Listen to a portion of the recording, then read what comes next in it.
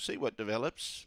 I know there's only four runners, but they can still cop a check. But she just needs to begin a little bit quicker than what she did at her first race start. But providing she doesn't get a check from Eureka Kiss. Green light on, no more bets, thank you. Set to go away. She was slow away again. She's getting squeezed up the favourite. She's in last placing. Kid Me never gets a chance to show its true colours here.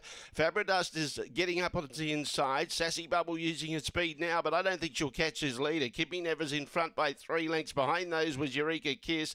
Kid Me Never's going strong, and Kid Me Never is going to hold on and beat Fabradust. Sassy Bubble only plotted in third placing, and Eureka Kiss back in last placing. Virtually where they started is where they finished in race number one.